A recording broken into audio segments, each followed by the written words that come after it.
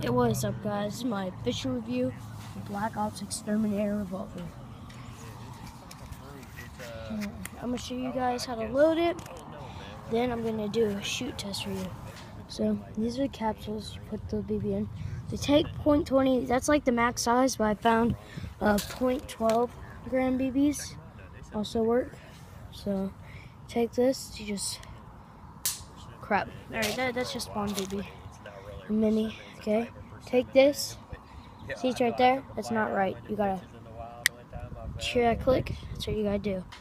And now gonna do that with all the other ones. It's pretty easy to load.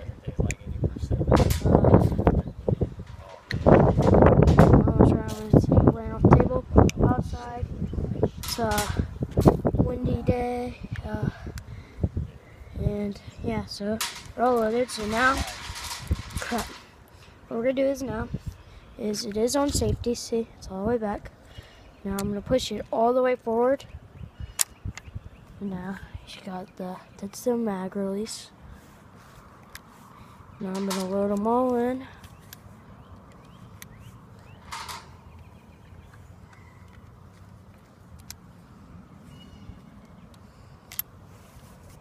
I've already shot this once. Um, shot about five minutes ago off camera.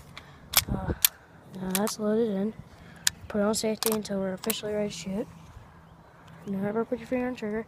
So this is double action. So look, see, like say you can cock it back and shoot it. Say you're you cocked it back and you don't want to shoot it. If you hold this back and pull the trigger at the same time, it easily puts it back without shooting. All right, so now my brother Ethan is Go to that can and show it. I'm gonna be keeping it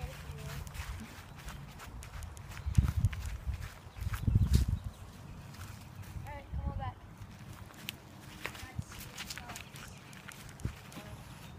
And this is said to go up to 510 FPS.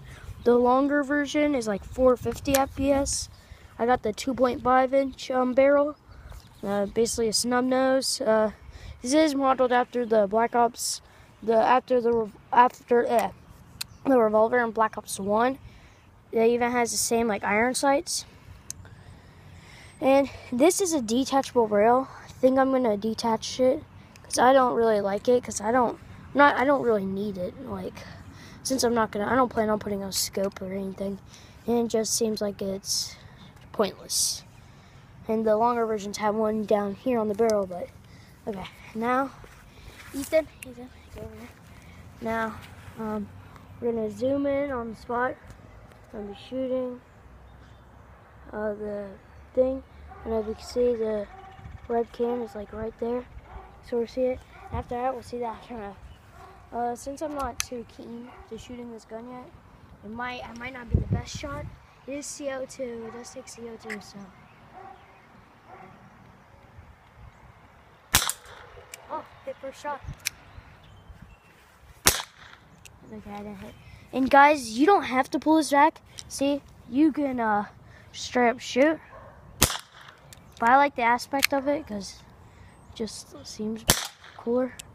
Yeah, I think I hit it again. Did I hit it again? It? Oh, I saw that one. Alright, and that's how you know it's done when it makes that little empty sound. And just to make sure, take out our bullets. And yep, they're all done.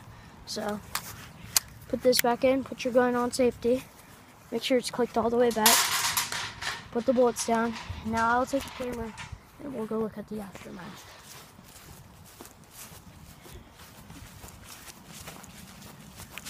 Okay, so as I can see alright, alright, I dented it here. Alright. I dented it there. Uh this is you this shot one, a, that's no. This that is from just, another one I did uh, when I was uh, just test firing That's it for actually new. That's actually new because No, the other not. can was No, when it's you not. shot it. This is when I was doing it earlier. Uh, and there's another one. And that's where this one came through. Went through there. You can see how it's like that's how. up. Like, how bad. That's how good it is. I Um, mean, So yeah, guys. Hope you like this uh, fire test and check out my unboxing. And this is the official review.